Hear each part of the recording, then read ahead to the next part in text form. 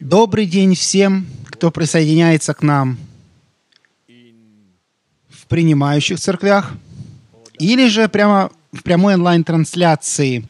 Мы благодарим вас за то, что вы проводите это время с нами. И надеемся, что эти предыдущие две сессии были вам полезны, что вы могли что-то отметить для себя, были ободрены, и что Святой Дух говорил к вам. Так что вы смогли что-то отметить для себя. И мы будем двигаться дальше. И на этой встрече я хотел бы поделиться с вами тем, что у меня на сердце относительно истинного Евангелия, то есть относительно здравого учения. Истинное Евангелие — здравое учение. На последней встрече мы немного упомянули относительно Евангелия, духа Евангелия, что это такое. И я считаю, что это было вполне понятным. Чтобы мы осознали ту большую опасность отступления от духа Евангелия.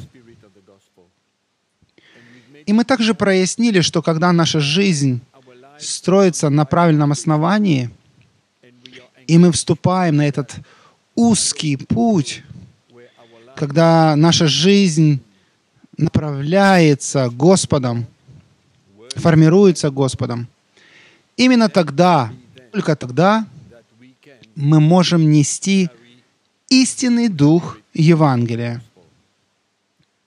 И можем служить, передавать Евангелие, как Господь Иисус и истинные апостолы – сделали бы это. Итак, сегодня мы говорим об учении Христа, здравом учении. Мы собираемся просмотреть некоторые отрывки из Священного Писания, но позвольте мне просто дать определение здравому. Ну что ж, нетрудно понять, что здравое учение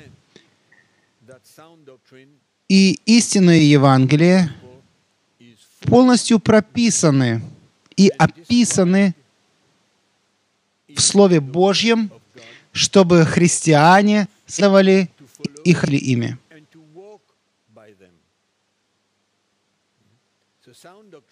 И, соответственно, здравое учение про Слово Божье. Все, что было сказано Иисусом, что было открыто сердцам апостолов –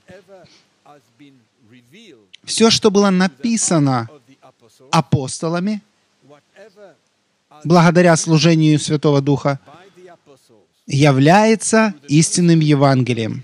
И мы, подобно апостолу Павлу, сказать, что это здравое учение. Э, итак, в Библии, в Новом Завете, ничего не упущено. Вот почему нет необходимости никому идти и пытаться искать что-то еще, какую-то другую теорию, или что-то, что кто-то там сказал. Все уже написано в Слове Божьем. И мое описание, мое определение здравой доктрины мы видим, что это основа. То, что мы только что описали, является основой здравой доктрины. Оно заложено в Библии. И мы должны быть внимательны, чтобы придерживаться Слова и не отступать от Него. И э, все, что нам говорят и что нас просят исполнять, должно соответствовать Библии, Слову Божьему. А если нет, если, этого, если это не отвечает Слову, то оно должно быть отвергнуто. Вот именно так просто. Нет какого-то варианта, нет никакого компромисса, который был бы приемлемым, скажем так. Это либо в Слове Божьем, либо его нет в Слове Божьем. Если то, что вы слышите и чему вас научили, не находится, вы не находите это в Слове Божьем, то это нездравое учение. Это называется ложное учение. Довольно просто для понимания. Потому что Иисус говорил об обновленной жизни христианина. И первые апостолы, которые были с ним, и также апостол Павел, они пролили много света в поддержку того, что Иисус сказал им. Святой Дух открыл им глубже то, чего они не могли понять ранее. Потому что какое-то время ученики не понимали, что Иисус говорил им. Но Иисус много говорил о христианской жизни. И апостолы, некоторые из них, Петр, Иаков, Иоанн, а затем и апостол Павел, точно передали, описали, о чем говорил Иисус. И когда вы сложите все это вместе, то есть четыре Евангелия, в которых мы находим, собственно, слова Иисуса, и послания, написанные апостолами, это составляет одно целое учение, которое мы должны соблюдать и не отступать от него. Вот почему нет никакого разногласия между учением Христа и учением апостолов. В этом нет никакой путаницы. Вот почему сегодня, когда мы говорим о здравом учении, без какого-то добавления, без отступления от Слова Божьего, это должно быть предельно ясно. Потому что это поможет нам. Это поможет нам, пасторам, это поможет церкви держаться учения, здравого учения, когда мы смотрим на Слово Божье. Вот почему как для нас, пасторов, так и для христиан важно проверять, что мы проповедуем и что в итоге христиане слышат от нас, чему их учат. Я думаю, что в эти последние дни настало время исследовать, проверять. Мне нужно исследовать то, что даже я сам проповедую. И всем пасторам сегодня нужно потратить время, чтобы пересмотреть то, что они проповедуют. Здравое ли это учение? Возможно, есть момент, где мы отошли от здравого учения. Потому что это очень серьезно. Церковь не может продолжать следовать человеческой доктрине. Кем бы этот человек ни был. Вопрос не в том, чтобы взглянув на служение и увидев, что в церкви 50 тысяч прихожан или же 15 тысяч членов, и сказать, о, хорошо, тогда у них должно быть точно здравое учение – это неправильный вывод. Вовсе нет. Потому что пасторы имеют тенденцию следовать за известными людьми. Известными людьми. У них склонность читать книги. Много разных книг. В христианских книжных магазинах полно книг. Но как вам узнать? Как вам распознать, является ли то, что вы читаете, здравым учением, или в нем есть какое-то ложное учение?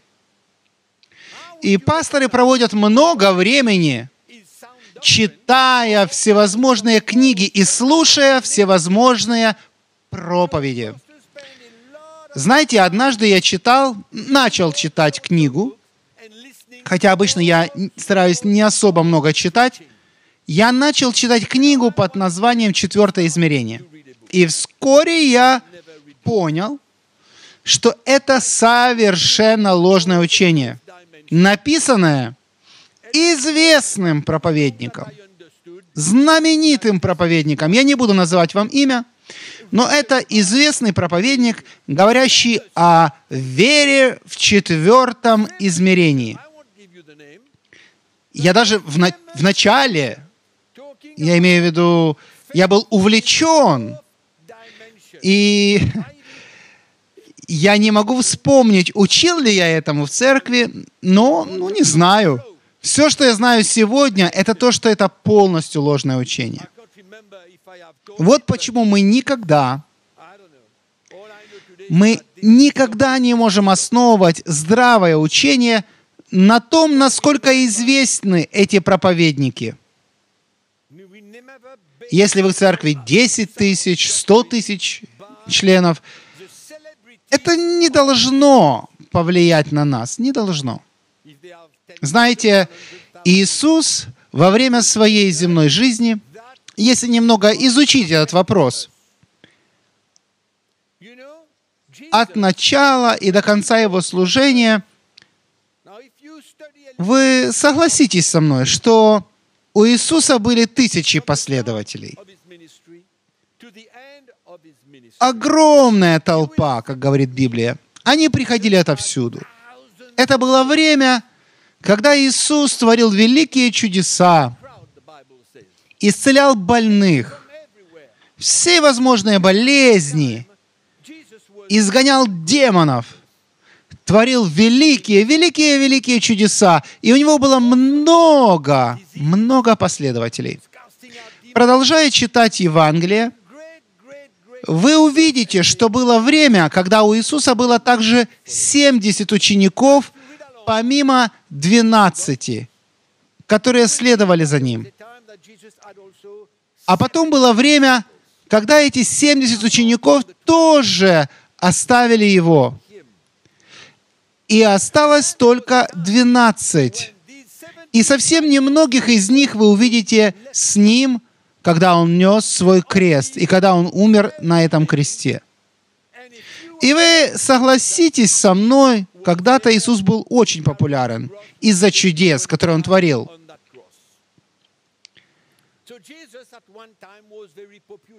Но когда Он начал спрашивать что-то у людей, когда Он начал говорить с ними об их жизни,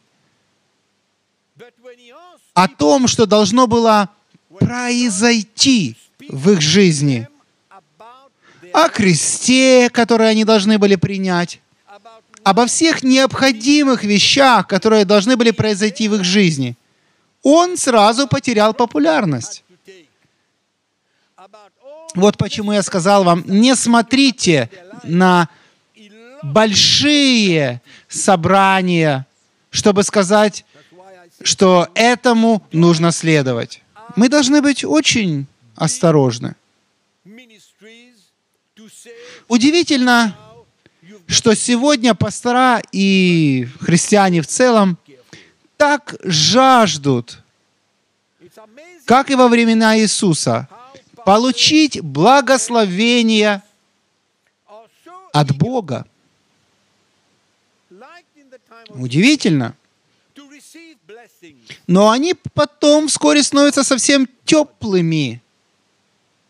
Я имею в виду не стремящимися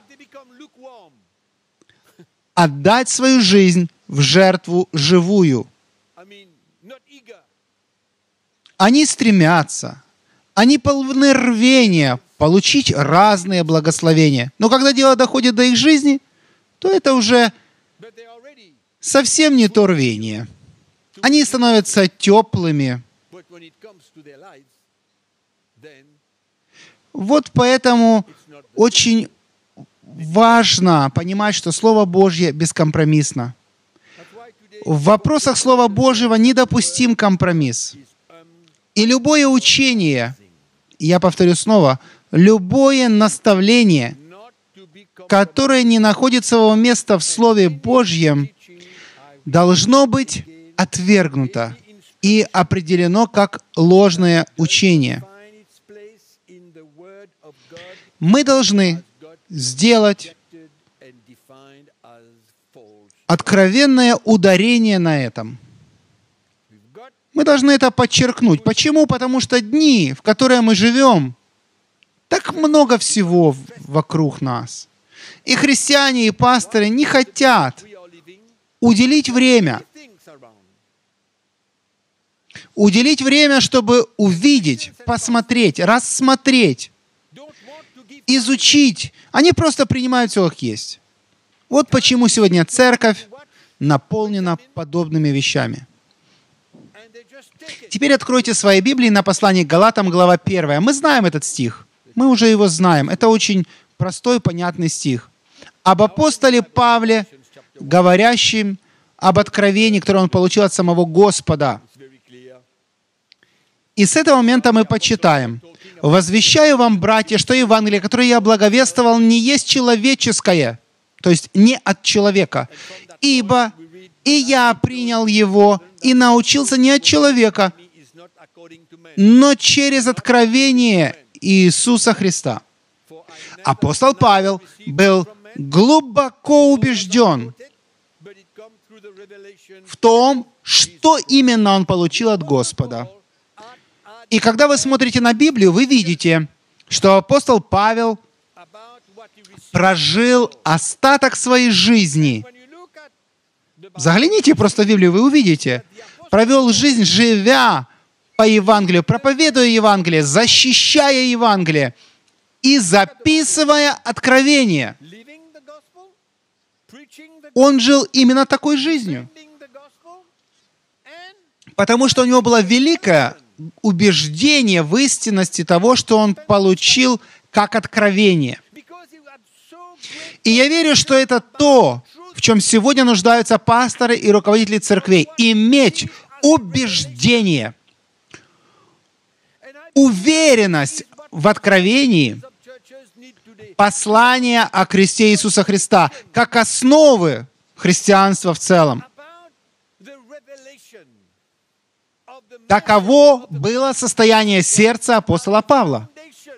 Он даже называет то, что он написал, и то, чем он жил. Он сказал, он говорит, он там говорит, смотрите, о моем Евангелии. Он говорит, мое Евангелие. Это то, что я понимаю. Это убеждение и откровение, которое я получил от Иисуса Христа. Это то, что я буду проповедовать. Это то, чем я буду жить. Это то, что я буду защищать. Я не собираюсь менять свой курс. Нравится тебе это или нет, это мое убеждение. Прочтите историю апостола Павла. Он говорит, горе мне, если я не проповедую Евангелие. Горе мне. Пророк Иеремия был таким же. Он знал, что когда Бог говорил с ним, побуждая, говорит к народу Израиля, он знал, что-то было в нем. Он чувствовал это как огонь, который горит в его костях. И он не мог молчать об этом. Это было сильное убеждение. Он был, он был глашатаем Бога. И я верю, что это то, в чем сегодня нуждается церковь. Люди Божьи. Люди Божьи, имеющие убеждение. Знаете ли вы сегодня, что есть тысячи и тысячи пасторов, которые бегают от доктрины к доктрине. У них нет большой убежденности в том, что, во что они верят. Это не апостол Павел. Они оба, Иеремия, Павел, первые апостолы, они не могли удержать в себе то, что получили от Бога. Их внутреннего пыла, огня, они знали, что это правильно. Вы знаете, было время, когда вы могли проповедовать Евангелие, проповедовать, проповедовать и проповедовать, и знать, вы действительно не так, как все. Я считаю, что мы должны прийти в такое состояние и ощутить, что горит что-то в нас. И мы глубоко убеждены в истине, которая в нас. Это мы должны проповедовать. Здравое учение. И Господь должен помочь нам. Пусть Бог нам поможет. Павел знал, что то, что он получил, было тем, о чем хотел что Бог, чтобы он говорил. Что он хотел бы, чтобы он проповедовал людям, чему наставлял их. Давайте посмотрим первое послание к Тимофею, глава 1. Я хочу, чтобы вы почувствовали и увидели сердце этого человека, как он переживает за церковь, как он обеспокоен тем, чтобы здравое учение оставалось в церкви. 1 Тимофею, глава 1, стих 3. Он обращается к Тимофею и говорит, «Отходя в Македонию, я просил тебя прибыть в Ефесе и увещевать некоторых, чтобы они не учили иному».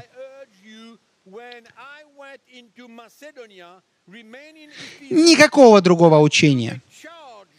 Из 9 стиха далее. «Зная, что закон положен не для праведника, но для беззаконных и непокоривых, нечестивых и грешников, развратных и оскверненных, для оскорбителей отца и матери, для человека-убийц, для блудников, мужеложников, человека-хищников, клеветников, скотоложников, лжецов, и для того, что противно здравому учению. Аминь по славному благовестию блаженного Бога, которое мне верено. Я имею в виду, что это, говорю вам, это удивительно, восхитительно.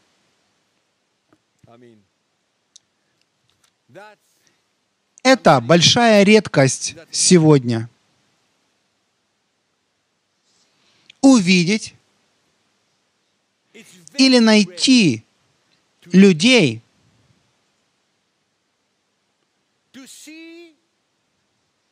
которые говорят, которые полны решимости придерживаться здравого учения в церкви. Так много намешано. Так много компромиссов. Так много разрозненных учений мутных учений. И второе послание Тимофею, глава 4. Взгляните снова. Я хочу, чтобы вы увидели сердце этого человека, предостерегающего, дающего наставление Тимофею и предупреждающего его об опасностях отступления от здравого учения. Глава 3, стих 3. Глава 4, стих 3 ибо будет время, когда здравого учения не будут принимать. Оно по сво... Но по своим прихотям будут избирать себе учителей, которые льстили бы слуху.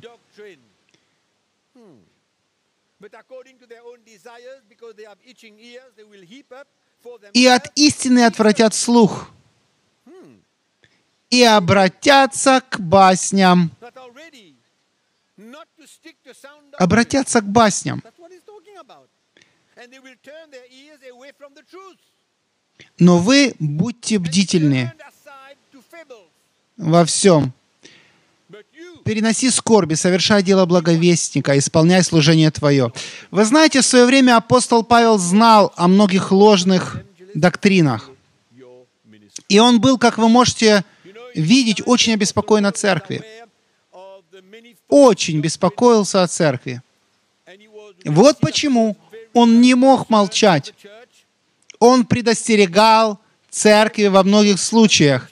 Если вы посмотрите Деяния 20 глава с 28 по 31 стих, когда Павел призвал старейшин Ефесской церкви прийти и встретиться с ним в Милете, он предостерег их. Он предупреждал старейшин Ефесской церкви о нарастающем влиянии лжеучителей, которые восстанут среди них. Именно это сатана делает и сегодня. Вот что делает враг сегодня. извращает Евангелие Иисуса Христа. Вот почему Павел сказал в последнем стихе, смотрите, потому что я отдал свою жизнь, чтобы вложить в вас всю волю Божью, откровение Христа в вашу жизнь вложить. Поэтому будьте бдительны, не спите, не поддавайтесь никакому ветроучению, которое приходит.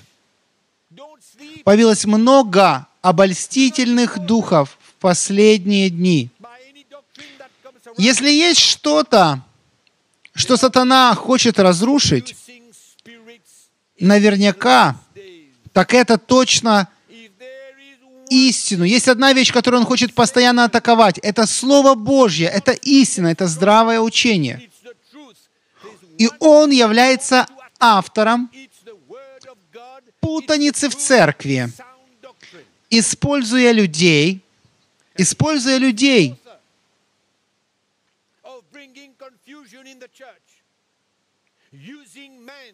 чтобы извратить, изменить чистое, истинное учение Христа. Вот почему Павел сказал им, смотрите, смотрите, я отдал свою жизнь, я излил просто свою жизнь в тебя. Я только что передал вам все откровения, которые я получил. Остерегайтесь врага. Он изощренный. Он приходит с забавными идеями, чтобы попытаться соблазнить братьев и привести их в состояние, когда они даже готовы проповедовать против здравого учения. Это невероятно. Они впали в искушение.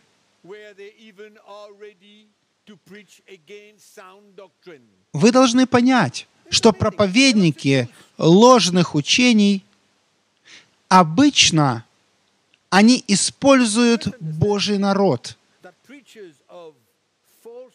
Они используют, они чего-то хотят. Они хотят славы. Да? Они хотят, чтобы христиане жили для них. Все возможные неправильные мотивы. Впав в искушение врага, дьявола. Не думайте, что это всего лишь ну, какая-то маленькая мысль, которая приходит в голову кому-то. Э, в послании филиппийцам, первой главе, Павел, находясь в тюрьме,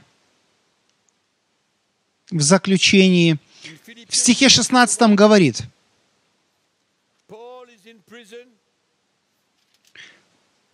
Первые проповедуют Христа по любопрению, то есть имея эгоистичные мотивы. Есть проповедники, которые проповедуют Христа, имея эгоистичные мотивы. Я только что говорил вам об этом. Именно так.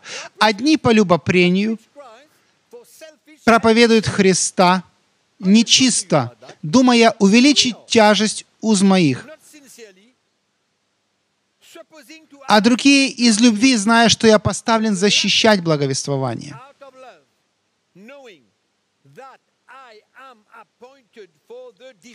Павел был призван защищать Евангелие. А признаны ли мы защищать Евангелие?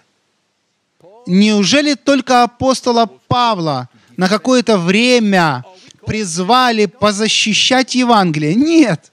Мы все, пасторы, призваны защищать Евангелие.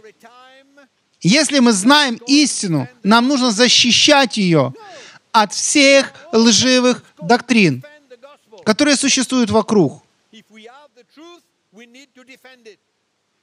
В послании к Галатам во второй главе Павел снова собирается встать и бросить вызов. Бросить вызов тем, кто хочет исказить Евангелие. Стих 3. Но они и Тита, бывшего со мною, хотя и Елена, не принуждали обрезаться, а вкравшимся лжебратьям, не из-за ложных каких-то незнакомцев, послушайте, ложных братьев, скрытно приходившим подсмотреть за нашу свободою, которую мы имеем во Христе Иисусе, чтобы поработить нас, мы ни на час не уступили и не покорились, дабы истина благовествования сохранилась у вас. Он не сдвинулся с места, не пошел на компромисс, не последовал за ними, но он защищал Евангелие. Он сказал, вы не обкрадете меня, не украдете мою свободу. Я не стану следовать за вами или отстаивать что-то ваше. Я встаю, чтобы защищать истинное Евангелие. Он ни пред кем не преклонится. Он не будет следовать за кем-то и не согласится идти вместе с кем-то или просто плыть по течению. Нет, нет, нет, нет. Никогда. И позвольте мне сказать вам, что сегодня церковь находится в эпицентре конфликта. Битвы между ложным и истинным учением. Идет битва в духе. Идет битва в духе. Это величайшее нападение сатаны на церковь, чтобы извратить истину. Извратить ее. И, к сожалению, он использует проповедников, христиан, чтобы отвлечь сердца христиан от истины. Прочтите, пожалуйста. У меня не будет времени, чтобы прочитать это сегодня вечером, но если вы прочитаете 2 Тимофею, глава 4, стихи 3 и 4, а также 2 Петра, мы уже упоминали это, 2 Петра, глава 2, стихи 1 и 3, Павел и Петр предупреждают церковь о лжепророках и учителях последнего времени. В это время и час нам нужно открыть наши духовные уши. Павла преследовали за истину. И не поймите это неправильно. Это часть завета. Если вы хотите проповедовать истину и защищать истину, вы не сможете обойтись без противостояния и преследований. Почему? Потому что многие не хотят правды. Они просто не хотят платить цену, чтобы жить по правде.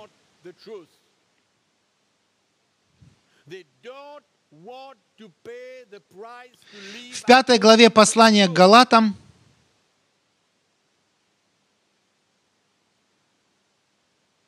Многие не хотят слышать истину, вот почему вас будут преследовать. Мне кое-что известно об этой стратегии врага. Я знаю эту стратегию.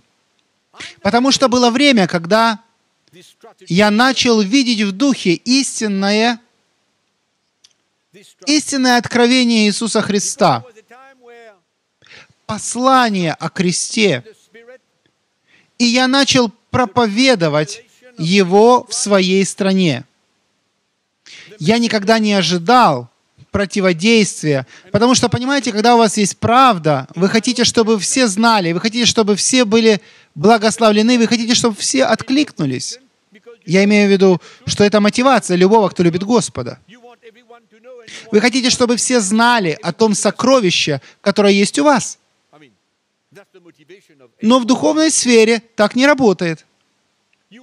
Здравому учению всегда будут противостоять. И те, кто не желает истины, будут преследовать вас. Вплоть до того, что вся церковь восстанет против Евангелия.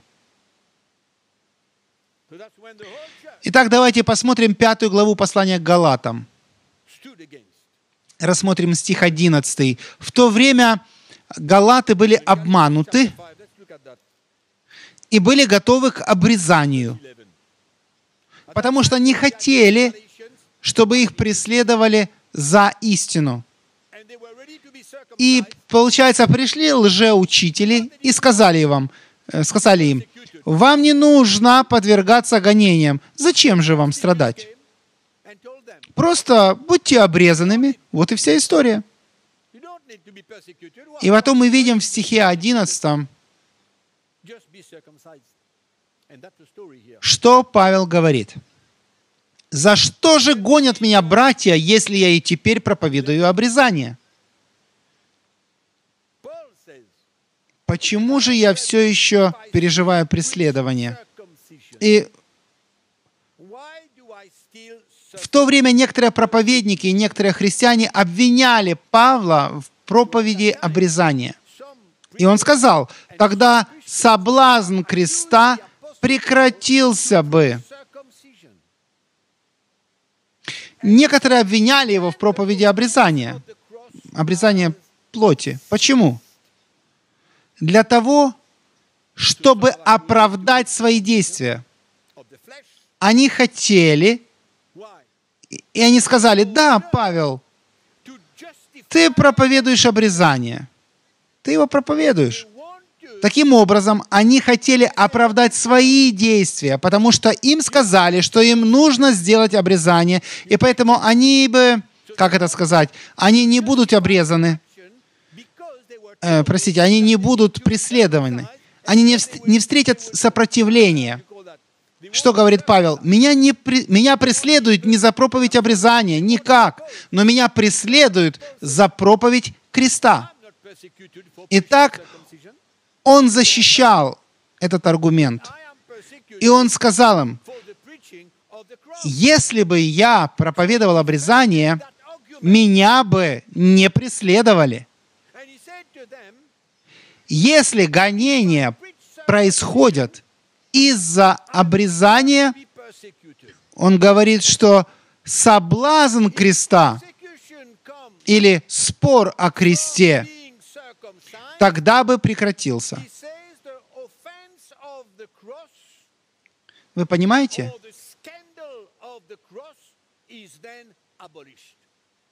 Если я проповедую обрезание, говорит он, тогда меня не будут преследовать. То есть преследование, которое идет на меня, происходит не из-за того, что я проповедую обрезание, а из-за соблазна и спора о кресте, который я проповедую. Вот откуда преследование идет. И так он встал он выступил против какого-то ложного учения, которое хотели внести в церковь Галатов. Павел был против просто плыть по течению. Он защищал истинное Евангелие перед Галатами. То же самое описывается в Галатам, глава 6, стих 12. Он повторяет почти то же самое, по сути близкое. Он говорит, желающие хвалиться по плоти, когда он говорит по, по плоти, он говорит об обрезании, принуждают вас обрезываться. Они принудят вас к обрезанию. Только для того, чтобы не быть гонимыми за крест Христов. Вот что там написано. Аминь. Это ясно. Они не хотят терпеть гонения за крест Иисуса Христа, и так они прячутся за обрезанием, но апостол Павел продолжает, говоря, «Ибо и сами обрезывающиеся не соблюдают закона, но хотят, чтобы вы обрезывались, дабы похвалиться в вашей плоти». Другими словами, проповедники любят использовать христиан. Им это нравится. Я верю, что Бог призывает людей в эти последние дни нести истинное учение, истинное Евангелие, проповедовать и защищать его, принимать его. Мы обязаны при, принять здравое учение, мы призваны к этому и заплатить цену за его проповедь. Послание Галатам, глава 1. Послание Галатам, глава 1, мы читаем со стиха 6. И сейчас все пасторы и руководители церквей просто внимательно прислушайтесь к этому. Удивляюсь, что вы от призвавшего вас благодатью Христовою так скоро переходите к иному благовествованию, которое, впрочем, не иное, а только есть люди, смущающие вас и желающие превратить благовествование Христова. Но если бы даже мы или ангел с неба стал благовествовать вам не то, что мы благовествовали вам, да будет анафема. Как прежде мы сказали, так и теперь еще говорю, кто благовествует вам не то, что вы приняли, да будет анафема. У людей ли я ныне ищу благоволения или у Бога? Людям ли угождать стараюсь? Если бы я и поныне угождал людям, то не был бы рабом Христовым. Итак, галаты отошли от здравого учения. И это вполне понятно. И те, кто проповедовал это, это ложное учение, побудили христиан перенести, если я могу так сказать, перенести свою преданность на другое Евангелие. Противоположное даже, можно сказать, Евангелие. И самое худшее здесь они хотели извратить и исказить Евангелие. Но Павел говорит, что эти люди прокляты. Он говорит анафема. Потому что они пришли и смутили, и запутали галатов доктриной, которая вообще противоположна той, что проповедовал им апостол Павел. А все, что противоречило тому, что проповедовал апостол Павел, послушайте внимательно, считалось ложным учением. И апостол Павел здесь очень резок. Можно сказать, просто бескомпромиссен. Вот что он говорит да будут они прокляты. Он говорит, анафема. Это очень категорично, правда? Анафема. И нам, пасторам, нужно слышать, слушать и внимать, и исследовать, и проверять то, что мы проповедуем народу Божьему. Сегодня пасторы руководители церквей часто проповедуют Слово, чтобы впечатлять, веселить христиан по плоти. Поэтому мы должны быть очень осторожны.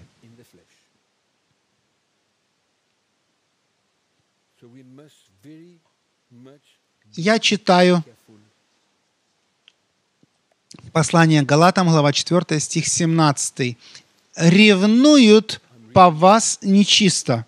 Вы знаете, слово, которое у нас переведено как «ревнуют», оно ближе к слову «ухаживать», как парень ухаживает за девушкой. Вот что он, Павел, хочет сказать. Вас пытаются привлечь, пытаются привлечь а хотят вас отлучить, чтобы вы ревновали по них. Аминь. Это продукт ложного учения. И я, продолжая, хочу дать вам список некоторых известных ложных доктрин, ложных учений. Во-первых, скажем так, топ та, которая возглавляет список, конечно же, это Евангелие процветания. Друзья, это очевидно. Вводите лимузин, и он прославит Бога. Вот в чем суть Евангелия процветания. Это Божий план для каждого христианина процветать, умножаться, быть богатым и иметь много разных вещей. Это учение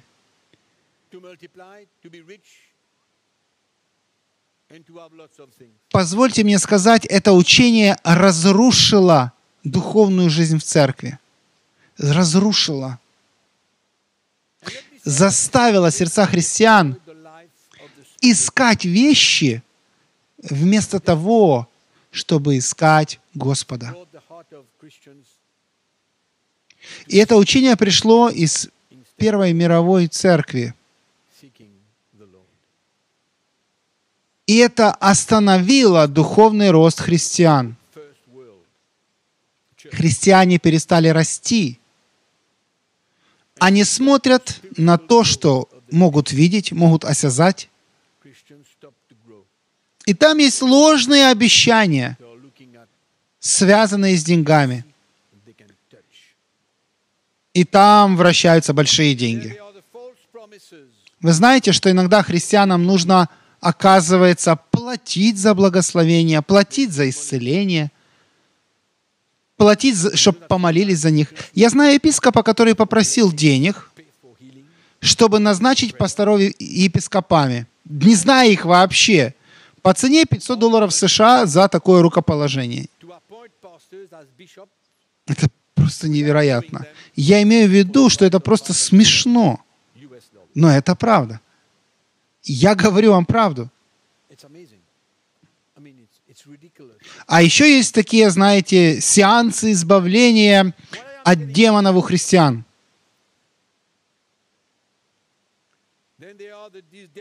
Как если бы у рожденных свыше христиан были демоны. Большую часть времени, когда я был в Африке, проповедуя Евангелие, мне противостояли, потому что в своих проповедях я часто говорю о свободе христианина и о том, как он был освобожден, и теперь он является частью Царства Божьего, Царства Света. И мне часто приходилось сталкиваться с проблемами в этом вопросе. Многие пасторы, они путают демонов и злых духов с делами плоти. В результате христиане страдают из-за того, что пасторы тратят время, изгоняя из них бесов. Послушайте, это ложное учение. И еще одна серьезная вещь это то, что христиане, это, это учение, что христиане обладают силой Бога творить то, что им вз- взбредет в голову. Потому что слова обладают силой творить. У них есть, у христиан есть сила творить то, что они захотят, словами, которые они произносят. Фактически, согласно этого учения, они, по сути, маленькие боги, способные решать свою собственную судьбу. Их судьбу уже не Бог решает, это они, по вере, которая в них есть. Они похожи на Супермена. И все же Библия учит нас о нашей слабости и о том, что сила у Него, у Господа. Это учение тоже разрушает Евангелие. И, конечно же, еще один топ это доктрина веры. Вы желаете, вы верите, вы заявляете, вы исповедуете, и ваша вера повелевает Богу дать вам это. Но откуда вообще возникла церковь? А? Вы можете приказать Богу дать вам это, потому что вам захотелось, и вы начали произносить, исповедовать, заявлять, и ваша вера совершит это для вас? Конечно же, все христиане ухватились за это повальное увлечение, и все начали волноваться по этому поводу. Но они вскоре обнаружили, что это очень обманчиво. А еще следующее – сила исповедания по вере. Смотрите, в каком порядке. Чтобы иметь веру, вы должны исповедовать ее. Я пережил это когда-то. Я имел такой, скажем так, опыт. Исповедовать Слово Божье, исповедовать Священное Писание с целью, чтобы получить все благословения Божьи. Я должен был заучивать наизусть Священное Писание для всех благословений, которые я мог получить от Слова Божьего. Но если вы посмотрите на Писание, вы обнаружите, что сначала написано «имейте веру», а затем исповедуйте то, что вы верите. Обратное не является здравым учением. Вот почему христиане сегодня устали, потому что они продолжают исповедовать, исповедовать, исповедовать, а у них ничего нет.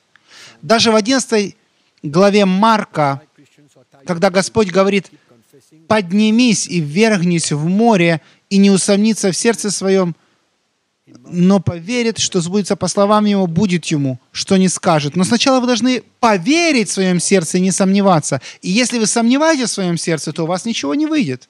Но если вы не сомневаетесь, если вы верите в своем сердце, тогда исповедуйте это, и тогда это произойдет. Вот почему апостол Павел говорит. «Я веровал, и потому говорил». И далее говорил. Удивительно, как можно исказить, вывернуть наизнанку, перевернуть Писание.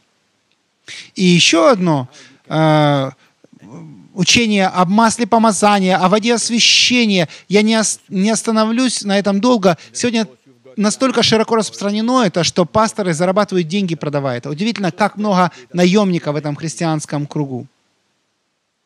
А еще одно. И сегодня есть такая еще доктрина. Будь свободным, будь свободным. Имей больше одной жены, имей, или имей жену, но и еще кого-то на стороне.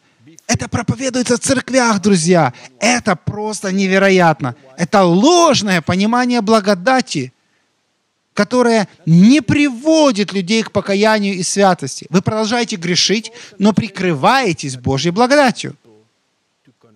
И вот еще одно. Почему мы должны страдать, если Иисус пострадал за нас? Другими словами, нам не нужно брать свой крест, нам не нужно отождествлять себя с Иисусом. И все же, это и есть основа христианской веры. Так что есть очень много о чем говорить, рассматривая ложное учение. Так много о чем поговорить. So there's часть списка, который приводит церковь в большое замешательство. В церкви сегодня остается очень мало жизни духа. Церковь просто купается в ложных учениях. И в стихах 8 и 9, как мы читаем, это глава 1 послания к Галатам, Павел, апостол Павел, решительно заявляет, что эти проповедники прокляты. Он говорит, анафема, обречены на вечную погибель. А как это на вечную погибель? Обречены на вечную погибель. Вот что Библия говорит этим проповедникам, проповедующим другое Евангелие. Это очень серьезно. И пасторам необходимо серьезно изучить эти стихи, прежде чем выходить учить и проповедовать народу Божьему.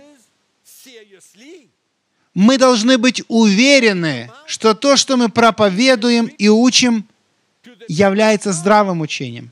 И Павел говорит в стихе 10, У людей ли я ныне ищу благоволение или у Бога? Людям ли угождать стараюсь? Если бы я и поныне угождал людям, то не был бы рабом Христовым. Если вы хотите быть рабом Бога, вы должны проповедовать здравое учение. Если это когда-нибудь не понравится людям, это не проблема. Мы должны оставаться в здравом учении. Это задача пасторов и руководителей церквей сегодня, в эти последние дни, где, как я ранее сказал, враг атакует истину Евангелия, чтобы отвратить сердца христиан от Бога, вплоть до того, чтобы они потеряли свою веру. Павел говорит, я сохранил веру. Евангелие апостолов — это Евангелие с требованием. Суть требования — пожертвовать свою жизнь. Это учение апостолов. Но христианам так легко, очень легко примкнуть к удобному Евангелию, следовать удобному Евангелию.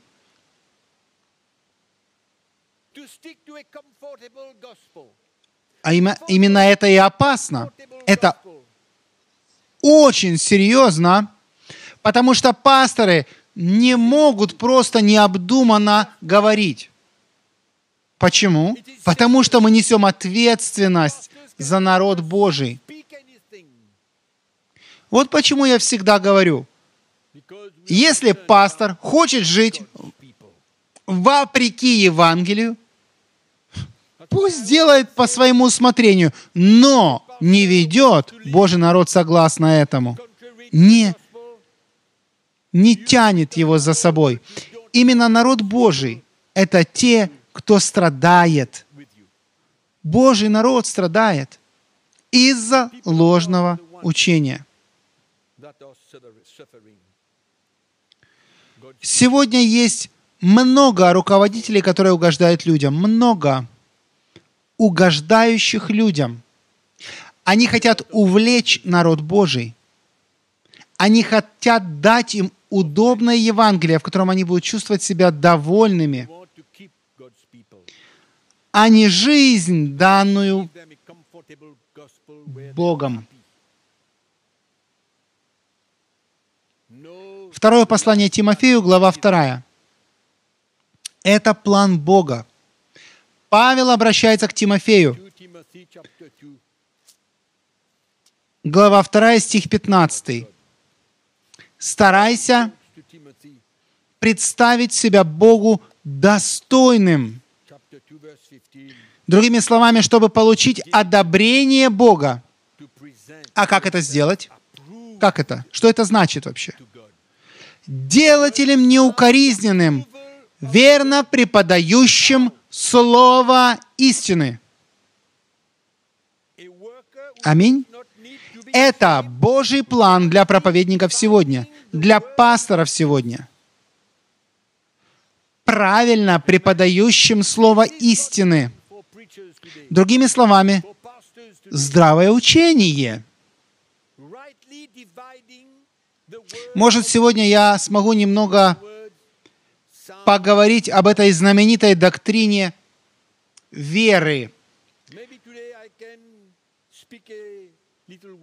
Просто чтобы показать вам, насколько сильно церкви нужно вернуться к истинному учению веры. Прежде всего мы знаем, что Ефесянам глава 2 стих 8 говорит о вере для нашего спасения. Мы спасены по благодати через веру. Итак, Бог дает веру, чтобы мы могли уверовать во Христа и спастись. То есть, вера для спасения. А затем, когда вы смотрите на Священное Писание, вы смотрите на Библию, в Новом Завете мы видим, что Бог дает веру для осуществления своего плана. Вот зачем Он дает нам веру. чтобы Его воля исполнялась, чтобы мы могли работать вместе с Ним над исполнением Его воли, над осуществлением Его плана для Царства Божьего. Это одна из причин, по которой Бог дает нам веру, чтобы мы делали то. Что мы призваны делать по вере, чтобы угождать Богу и повиноваться Богу. Откройте вместе со мной вашу Библию в 21 главе Деяний. Мы снова видим апостола Павла. Вам знакома эта ситуация, которая здесь описана в Деяниях 21 глава, стих 13.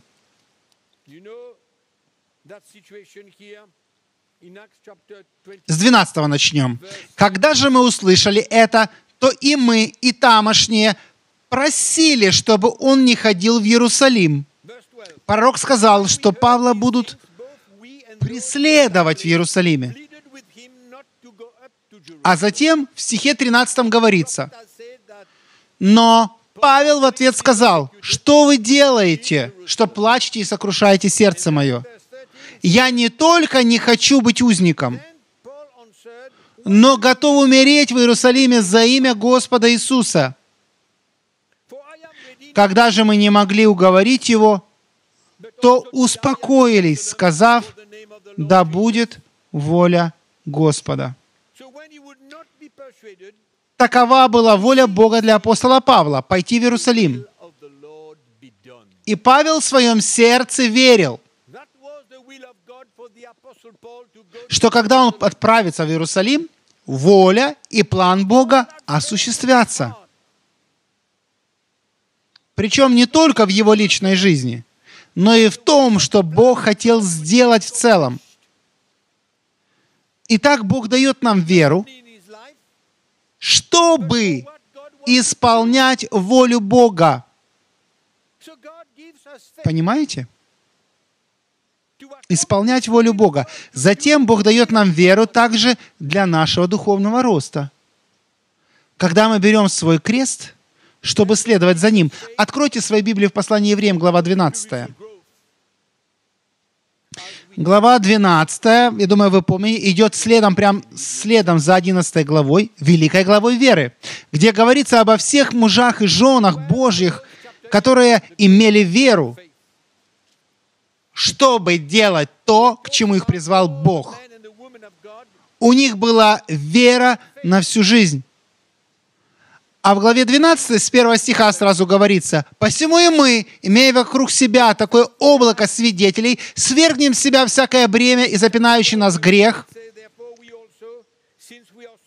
и с терпением будем проходить предлежащее нам поприще». Вот оно. «Взирая на начальника и совершителя веры, Иисуса, который вместо предлежавшей ему радости претерпел крест, пренебрегший посрамление и воссел одесную престола Божия». Аминь. То есть автор послания евреям учит нас, побуждая взирать на Иисуса, как Он прошел крест, что Он начало и конец нашей веры. И когда мы берем свой крест, нам нужна вера, нам нужно доверять Ему, нам нужно верить в Его силу, в Его величие, в Его любовь, в Его благодать для нашей жизни. Когда мы берем свой крест и следуем за Ним, нам это нужно. Видите ли, мы говорим о вере для духовных вещей, о том, что Бог хочет сделать в созидании своего царства, о вере, способной выдержать проверку и kingdom. Второе послание Тимофею, глава 4, Faith to stand in the midst of test and trial. стих 16. 2 Timothy chapter 4. «При первом моем ответе никого не было со мною, но все меня оставили. Да не вменится им. Господь же предстал мне и укрепил меня, дабы через меня утвердилось благовестие и услышали все язычники. И я избавился из львиных челюстей. И избавит меня Господь от всякого злого дела и сохранит меня для своего небесного царства. Ему слава во веки веков. Аминь. Вот это вера. Это вера, чтобы пройти через все страдания, проверки, испытания, невзгоды, зная, что Бог, вот что Он говорит здесь очень-очень ясно, зная, что Бог избавит меня от всякого зла и сохранит меня.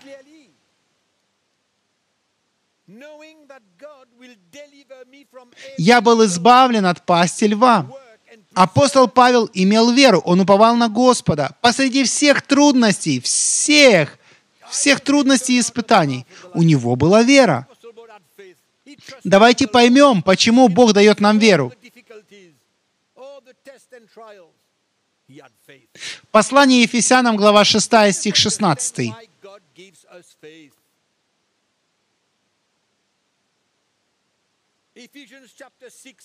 Мы должны понять, почему Бог дает нам веру. Вы знаете главу 6 со стиха 16. «Потому что наша брань не против плоти и крови, а стих 10 говорит нам, «Наконец, братья мои, укрепляйтесь Господом и могуществом силы Его». А потом Он говорит с нами о всеоружии Божьем. И одна из частей этого всеоружия была какая? Если мы прочитаем стих 16, мы увидим, что одна из частей всеоружия Божьего, которое дает нам Бог, для чего? Чтобы устоять, как Писание говорит, в день злой, чтобы противостоять уловкам врага. Это щит веры. Вот почему Бог дает нам веру. Мы не будем пытаться выяснить, как еще мы можем использовать нашу веру для материальных вещей, для вещей этой земли, для вещей, которые не имеют ценности. Мы говорим и смотрим на веру здесь, и ее цель, она предназначена для нашей духовной жизни, для того, чтобы мы ходили согласно плану Божьему, чтобы мы угодили Ему чтобы устоять нам в злые дни. Это настоящая вера. Полное доверие Богу. Когда мы берем свой крест и следуем за Иисусом. Матфея, глава 6, стих 33. Я здесь указываю вам на причину, по которой Бог дает нам веру, с какой целью Он дает. И я не пытаюсь найти какую-либо другую причину. Вот главное — когда Иисус разговаривал со своими учениками, и Он э, убеждал их не беспокоиться, не беспокоиться ни о чем, что есть, во что одеться, ваша еда, ваша одежда, ни о чем не беспокойтесь. А что он сказал в 33 стихе? «Ищите же прежде Царство Божие и правды Его, и это все приложится вам». Итак, не заботьтесь о завтрашнем дне, ибо завтрашний сам будет заботиться о своем. Довольно для каждого дня своей заботы. Аминь. Вера в Бога. Он, тот, который наблюдает за нами, заботится о нас, обеспечивает нас. Аминь. Служа Господу, ищите в первую очередь Царство Ищите в первую очередь, не волнуйтесь, имейте мир в своем сердце. Позвольте мне сделать это, позвольте мне позаботиться о вас, говорит Господь.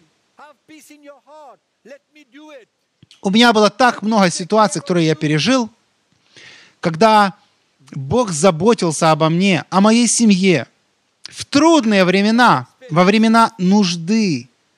И это время, когда вы должны иметь веру и доверять Господу и не беспокоиться, иметь мир, иметь радость, сохранять радость, не тревожиться, не беспокоиться. Имейте это доверие, эту веру в Господа, что Он тот, кто заботится. Он пастырь добрый, Он кормилец, Он все для нас. Аминь. Итак, это вот настоящая вера, это здравое учение. Здесь в Библии нигде не сказано, что Бог дает нам веру, чтобы мы становились все богаче, богаче и богаче. Чтобы нам нужно продолжать материально процветать для наших собственных целей. Или стать богатыми, чтобы приумножить то, что у нас есть. В Библии об этом ничего не говорится. Позвольте мне сказать следующее, чтобы подытожить это. Это прерогатива Бога, а не человека решить, кому быть благословенным. Давайте я повторю это еще раз. Это прерогатива Бога, а не человека решать, кому быть благословенным. Никто другой не может принять это решение, только Бог принимает это решение. И если Он это сделает, мы воздаем Ему славу. Если Он этого не сделает, мы все равно воздаем Ему славу. Аминь. Вот почему Библия во многих местах говорит о том, как быть довольным в Господе, как быть довольным тем, что у нас есть. Вот почему я говорю, что это здравое учение. Вот это здравое учение. Но церковь сбилась с пути,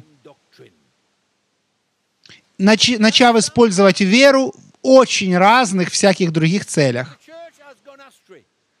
Вот почему мы должны придерживаться здравого учения. Вы знаете, я как-то написал книгу, небольшую книгу, буклет об испытании креста, который показывает одну вещь, что для каждого учения Нового Завета основанием является сам Иисус. Крест Иисуса и также крест, который мы должны взять. Каждое учение в Новом Завете, каждое учение, на чем оно основано? Только на Иисусе. На кресте Господнем. И также на кресте, который мы должны принять. И в тот момент, когда мы убегаем от этого креста, чтобы утвердить какое-нибудь новое учение, мы направляемся к ложному учению. Кстати, эта книга бесплатна. Она, ее можно найти на сайте CTMI, вы можете ее взять, вы можете ее прочитать, она бесплатна. И я верю, что прочитав ее, вы будете благословлены. Я подхожу к завершению. И я хочу рассмотреть отрывок из послания Иакова. Послание апостола Иакова, глава 3. Я хочу завершить очень серьезным отрывком Писания, как обычно. Иакова, глава 3, стих 1. «Братья мои, немногие делайтесь учителями, зная, что мы подвергнемся большему осуждению. Это понятно? На первой конференции Build мы призывали пасторов и лидеров всмотреться в свою жизнь, проверить свою жизнь, какие мы есть, что Богу нужно сделать в наших сердцах. Помните? Глубокие вещи, с которыми Святой Дух должен иметь дело в нашей жизни. Чтобы нам иметь возможность все больше и больше уподобляться Христу. И так мы говорили о том, чтобы каждый из нас, исследуя свою жизнь, убедился, что мы действительно берем крест и следуем за Иисусом, что мы принимаем наш крест, осознавая, что он означает. Что он означает? Не как религиозное какое-то понимание, но применяя это в свою личную жизнь. Но сейчас мы призываем пасторов и лидеров рассмотреть наше учение – что является столь же серьезным. Вы знаете, когда апостола Павла преследовали и ему противостояли, он не защищался и не оправдывался. Он не спорил, пытаясь заставить людей понять, что он прав, растолковать, что он говорил и так далее. Нет. Он защищал свою жизнь тем, как он жил, как он ходил, и тем, что он проповедовал. Вот почему мы шаг за шагом, шаг за шагом, мы исследуем свою жизнь, и мы хотим расти, и мы хотим стать рабами Бога. Мы хотим быть примером и образцом. Мы говорили на первой конференции Build 1. Но я верю, что Святой Дух действительно хочет подчеркнуть наше учение. Давайте рассмотрим наше учение, чему мы учим. Мы будем и уже есть подотчетны Богу. Об этом предупреждает апостол. That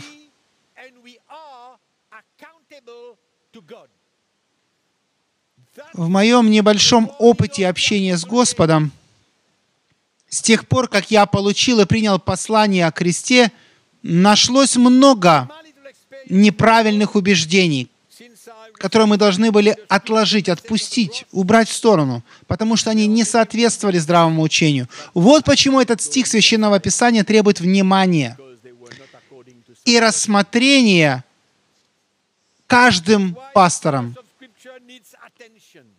Почему? Потому что нас будут судить по более высоким стандартам. Вот что здесь говорит Иаков. И с большей строгостью, чем других. Именно это он говорит.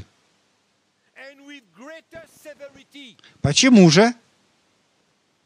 Потому что мы говорим от имени Бога. Вот почему нам лучше говорить правду и только правду. Мы несем ответственность перед Богом и перед Божьим народом за наше учение, за то, чему мы учим и что проповедуем. Мы несем ответственность. Нам придется дать отчет Богу. А это серьезно. Вот почему страх перед Богом должен вернуться в жизнь проповедников, чтобы они поняли и почувствовали, что они не могут проповедовать что-либо от себя или от кого-то другого, от какого-то адресата другого, где угодно и когда угодно. Это очень серьезно. Так много чуждого огня в церкви сегодня. Вы знаете, когда вы читаете книгу Левит, начиная с главы 8, о чем она говорит? Она говорит о сыновьях Аарона, Starting from chapter 8. первосвященника. В главе 8 они были освящены елеем помазания. В главе 9 они принесли свою первую жертву. А в главе 10 они уже принесли чуждый огонь. Да, они принесли пред Господом чуждый огонь, который Бог не повелел им принести. И как Бог не повелевал им этого. И каков был результат? Огонь Божий пришел и, и убил их обоих. Это серьезные вещи. И они остаются серьезными, злободневными в эти последние дни. Позвольте мне сказать, что Бог знает тех, кто разрушает Его народ. Тех, которые несут ложное учение. И Он знает,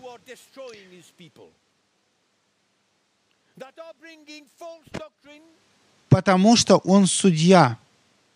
И Он будет судить, кого пожелает. И Он будет делать то, что хочет. и будет судить так, как хочет. Тем способом, который он находит хорошим, который кажется ему хорошим. Я серьезно. Вот почему каждый из нас сегодня должен принять решение. Я буду проповедовать только здравое учение об Иисусе Христе.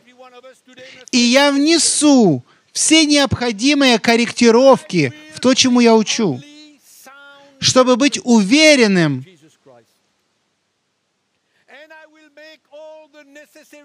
что я не подпаду под ложное осуждение, под Божье осуждение.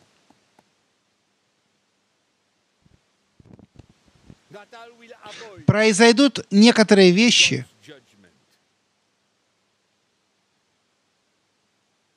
которые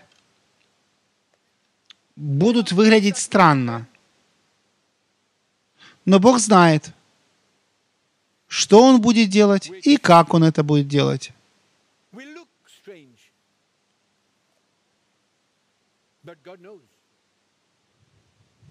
Второе послание Коринфянам, глава 4. Я должен сказать вам это. Я должен сказать вам это, прежде чем я закончу. Второе послание Коринфянам, глава 4, стихи с 1 по 6. Внимательно послушайте апостола Павла. «Посему, имея по милости Божьей такое служение, мы не унываем, но отвергнув скрытые постыдные дела, не прибегая к хитрости и не искажая Слово Божье, а открывая истину, представляем себя совести всякого человека пред Богом. Если же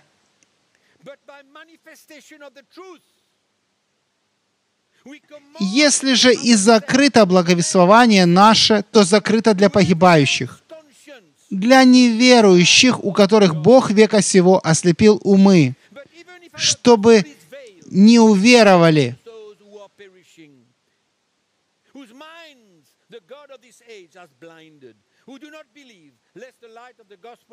Что Павел здесь говорит?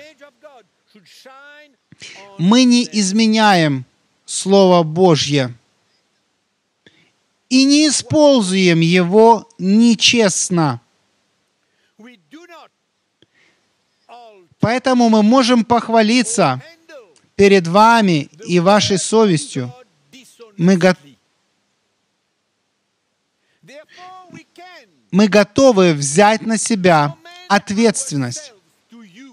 Потому что мы не искажаем Слово Божье, как это делают многие другие. Мы не используем Слово Божье для обмана. Вот почему мы можем верить себя вам и вашей совести. И, конечно, что это значит? Мы гордимся тем, что можем дать вам и проповедовать вам здравое учение. Это сказал апостол Павел. Они знали, что вкладывают здравое учение. И что-то, что они вкладывают, не повредит их совести, не повредит им духовно. И он говорит, уверовавшие, они могут не увидеть этого. Перед их глазами покрывало. К сожалению, сегодня есть пасторы, у которых все еще есть покрывало на глазах. Глаза закрыты для откровения Евангелия. Закрыты для истины Слова Божьего, здравого учения, истинного Евангелия. Бог знает, кто уничтожает Божий народ ложным учением.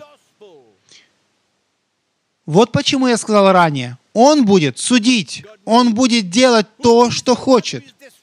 То, что он будет считать нужным сделать. В заключение я дам вам такую рекомендацию.